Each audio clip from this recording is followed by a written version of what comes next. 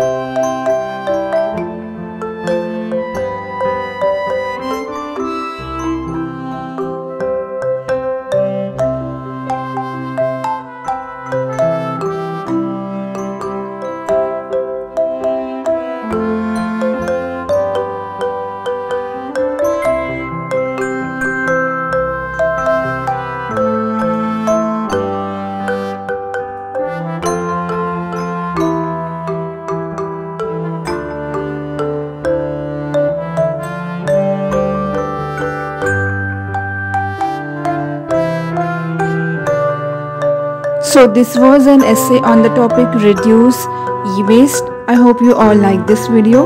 If yes, please hit the like button, subscribe. If you are new to the channel, thank you.